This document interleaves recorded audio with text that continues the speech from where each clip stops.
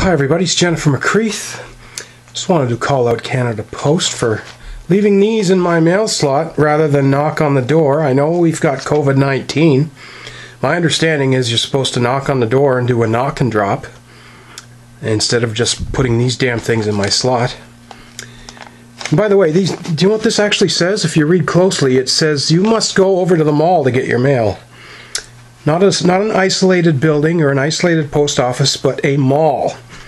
Places where we should not be going during this COVID 19 outbreak. Anyways, I went over to the mall.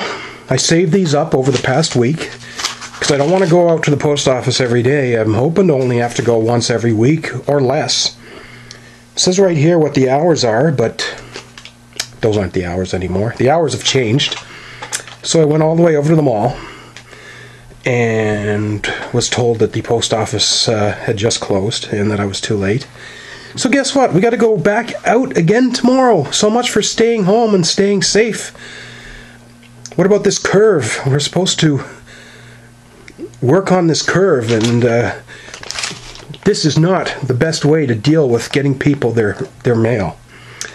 Um, if you're watching John Hagee, uh, Newfoundland people, Canada Post people, whoever, um, might want to revisit your policies.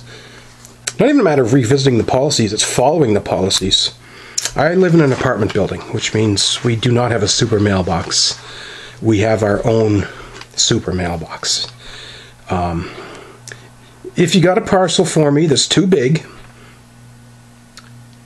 buzz up to my room. Tell me to come down and stand six feet away from wherever you are in the lobby, and I will claim my my package. Don't make me go all the way over to the fucking mall um, just to get my mail. That's ridiculous.